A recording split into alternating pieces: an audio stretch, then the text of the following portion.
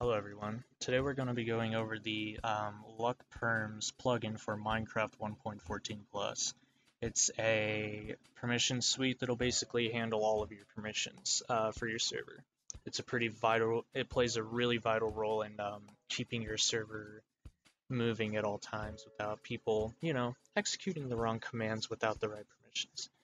So yeah, um, let's go ahead and get into it. So we're going to just go over the basics in this video. Um, there should be a timestamp at the start that'll tell you all the commands we're going to go through, and you can skip to whichever one if you are familiar with um, certain pieces of this already. So what we're going to be, uh, what the web page we're mainly going to be on is um, our server's console, which in my case is Dino, and the wiki uh, for LuckPerms. This will list pretty much every command, every feature, everything about LuckPerms, and it'll give you some insight on how to use it. So we're going to start on the command usage guide, which you can find here down in the contents. Um, and if we look in here, it'll tell us the aliases of the um, LuckPerms. For our sake, we're going to be using LP, just for simplicity's sake. And um, if we actually go into our Dino server and type LP, it'll tell us to do LP help to view the commands. And if we actually go down here, you can see the general commands, and those are also pretty much all on um, the slash help, uh, the LP help page. Um, the first command we're going to be going through, though, is creating a group because we're going to need groups to set to our users because those will manage the permissions way better than specific user command or permissions. So whenever viewing a command, it'll tell you the command and then the arguments you need to put in. It'll also tell you the permission you need for that, but we, will get into finding permissions for your plugins um, in this video. So right now we're going to want to create a group.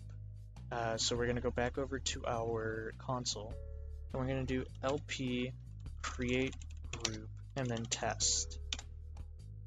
Test was successfully created. So we just created our test group. Now what we're going to want to do is put some permissions into that group. But if we put permissions in, nobody's going to use it because nobody's been assigned to it. So we're going to go ahead and add our user, which is in Minecraft right now, to that group. So what we're going to want to do is go back up to um, the contents page that you see on the right, and we're going to want to click on user commands. And you might be thinking to yourself, I don't see set or anything. I don't know how to add a user to a group. Well, it's because you have to add the user uh, to a group via the parent command. And um, it's a little confusing, but it also makes sense at the same time.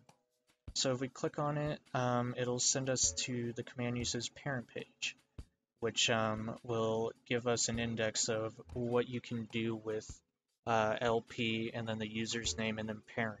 And then after that, which would be info set, add, remove, all that stuff. For now, we're going to focus on set, which will override all the parent groups on the user and set it to one specific group.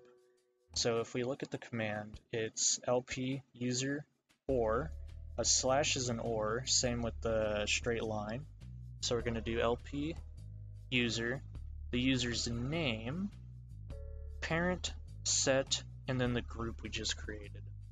So if we go up to our server and we go ahead and do lp user and then our user's name and then parent set test, we can see that we've had their existing parent groups cleared, and now only inherent's one. Um, don't worry about your name being lowercase, that's just the add-on's way of echoing it back. Uh, it's really set my user in game, even though it has a capital L, to that group. So now that we're set to that group, we're going to need some permissions. Um, but you're probably asking yourself, how do I find those permissions? There is uh, the old way, which is going to those plugins specifically and looking on their wikis or their websites, but LP or LuckPerms has a really cool utility command called LP tree, which will generate us a permission tree that is currently on our server. So if we go ahead and copy that, let's just go over to a random web page and then paste it. Take a minute to load. We can see all the permissions on our server. The asterisk right here uh, represents every single plugin. So if you were to give a group the asterisk, it's basically a wild card for every single permission on the server. So uh, don't really give that to anyone unless you want them to have complete access of every single command. But for our sake, we're going to go down to the Essentials tree, which is um, the Essentials X plugin, a pretty popular plugin used by a lot of servers. And um, we're going to want to add, let's say, fly to test. So let's go ahead and press um, Control F or whatever your browser uses to search. And let's go ahead and type, can't spell, essentials.fly. And as you can see, it actually has its own tree uh, and then subtree of commands. But for now, we're only going to want to do slash fly. So we're going to go ahead and copy this command. Now, we're going to go back over to the wiki and see how to actually implement this command into our um, into our uh, group. So we go ahead and go back to the contents, and then we go to permission commands. And now you'll see another index, um, obviously info set unset. These should be pretty self-explanatory, but right now we're going to use the set. So right here you can set the user or group um, permission set, and um, basically it's LP group group name permissions set, and then the node. Uh, the node is this. This is considered the node, so it would be the essentials.fly, that's our node. And then you can use true or false. If they are set to false, they won't be able to access that command. However, um, if you don't put anything, it'll default to true, which means they can execute that command. So we're not going to um, put anything for the true false um, booleans. So we're just going to go back over to our Dino server and we're going to go ahead and do lp group test permission set and then essential.fly. We're not going to put true or false because I want them to have it, so it'll default to true. So it's set essentials.fly uh, to true for test. So now if I go back into the server, my user is already set to test. So if I do slash fly, and it also may appear red until you relog. Uh, that's nothing you can really fix.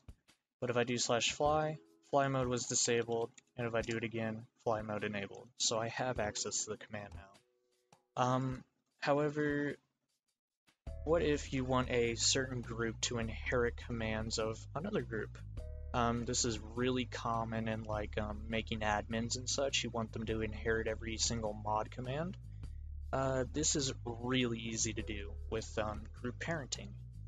So we're going to go back over to the um, parent commands and wait for that to load. And we're going to go back to the set. So just like we set our user to a specific uh, or to parent and we set a parent to our specific um, user. Uh, we're going to do the same with the group. Um, this is basically making uh, whatever group you put in right here inherit all the permissions of the other group. So um, let's actually first go over to the tree viewer and let's um, give a command a default that we normally... Uh, let's see. Essentials.nuke is a good one. So if we do lp group default permission set then essentials nuke um, sorry ignore that little notification um, we basically have given default uh, slash nuke. But our user has been set to test and all the other groups were um, removed from our user so we're no longer in default. So if we do slash nuke we don't have access to that command. But we want the test group to inherit the permissions of the default group. So we're going to go back to the wiki, and if we read the command, Uh, it's pretty straightforward. We just do LP the group or LP group the group name, parent, set, and then the group's parent, which will be default. So let's go ahead and head over to our server, LP group, and then let's do test for our uh, for our new group that we just created. Parent, set, and then default. This will basically give test every single command default and yeah, so let's go ahead and do that. Test had their existing parents cleared, yada yada yada. It's been assigned a default now. If you set it, it will take all the um, uh, it will take all the groups that were set to it and clear them. So if you do want to like stack them, use add, but we're not going to go through that right now because um, set is what we want. So if we go back in game, we can go ahead and do slash uh, nuke. And now nuke is working because test now inherits every single command that um uh, what's it called does default. It inherits all of default's commands. So yeah, that's pretty much it for the basic setup. This is uh, these are pretty much all the commands you're going to be using at the start to set up all your groups, set up your permissions, give your users those um, permissions, and yeah. Uh, if you found this guide helpful at all, feel free to share it to your friends and whatnot. And um, yeah, if you're looking for a Minecraft server, uh, head over to Crident.com. Pretty quality Minecraft servers there. And if you're also a creator interested in working with us, feel free to send us a ticket. But yeah, uh, that's pretty much it. Thanks for watching, and I hope this clears anything up.